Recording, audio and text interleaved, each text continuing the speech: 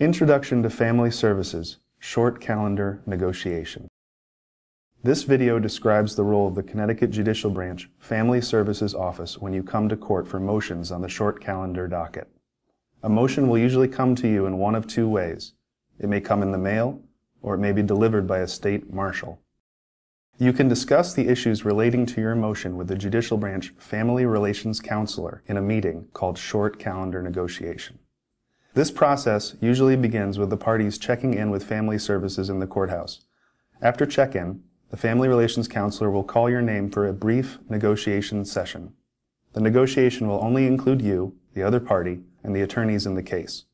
For many people, this meeting is a chance to resolve some or all of the issues raised by the motion. Negotiation sessions are short, and it is best to have your paperwork ready. You can print the forms you need from the Judicial Branch website or get a copy from a Judicial Branch Court Service Center. All the paperwork needs to be completed before your meeting with Family Services. The Family Relations Counselor may look at your financial affidavits, parenting proposals, and other documents.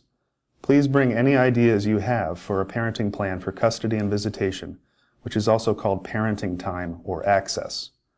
If your case is about child support, alimony, or property, please bring accurate supporting documentation, including a completed, up-to-date financial affidavit form. The goal of the negotiation is for the Family Relations Counselor to help the parties resolve the concerns within the motion by listening to both parties' concerns, assisting with discussions to resolve the disagreement, and offering possible solutions for the parties to consider. If you reach an agreement, the Family Relations Counselor will help you put it in writing so you can present the agreement to the judge for approval.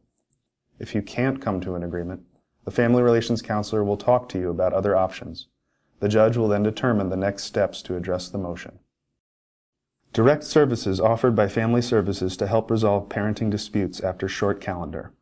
If you have custody or visitation issues that were not fully resolved at court during negotiation, the judge may refer your case to the Judicial Branch Family Services Office for a screening for free services. The purpose of the screening is to decide which service is best for your situation. The Connecticut Judicial Branch services offered are mediation, conflict resolution conference, issue-focused evaluation, and comprehensive evaluation. The goal of these services is to help the parties resolve their issues so they can agree on a plan to raise their children. Watch the other videos in this series to learn more about these services.